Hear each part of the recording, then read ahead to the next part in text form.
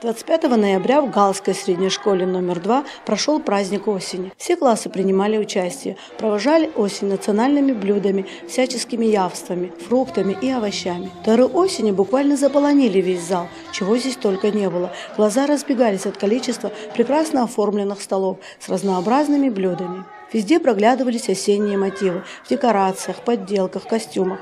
И все это было организовано учителями, родителями, детьми, словом, представителями школьного сообщества. На празднике было представлено много разных работ, которые поражали своей красотой и неповторимостью, где отображалось не только трудолюбие, но и красота и любовь к родному краю. О своем видении данного мероприятия рассказал директор средней школы Ахрак Викискири.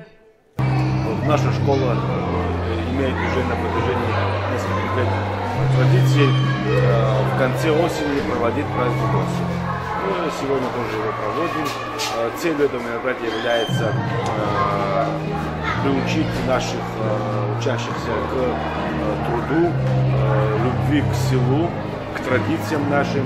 Главной задачей нашего мероприятия является чтобы э, наши учащиеся дети, подрастающее поколение любили э, свою землю, любили свое село, любили свои традиции.